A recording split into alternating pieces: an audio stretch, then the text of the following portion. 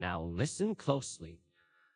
Here's a little lesson in trickery. This is going down in history. If you wanna be a villain number one, you have to chase a superhero on the run.